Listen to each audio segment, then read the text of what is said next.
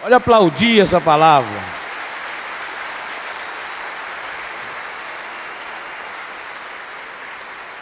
É muito interessante que o Padre Jonas vai encaminhando o final desse livro, sim, sim, não, não, exatamente com essa passagem.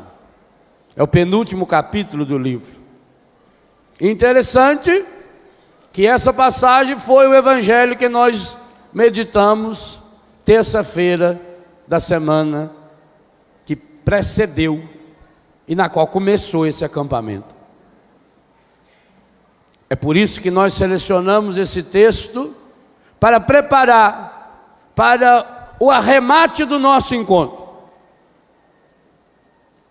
A proposta que o padre faz no livro é a mesma que eu quero fazer para você. Hoje, Jesus quer entrar na sua vida de um modo definitivo. Hoje. É interessante que o tempo que Jesus usa duas vezes no Evangelho é o tempo compreendido na palavra hoje.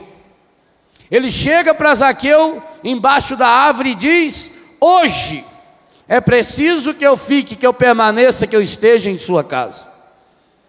E no final, quando Zaqueu acolheu Jesus em sua casa, acolheu Jesus em sua vida, Jesus vai dizer: hoje a salvação entrou em sua casa.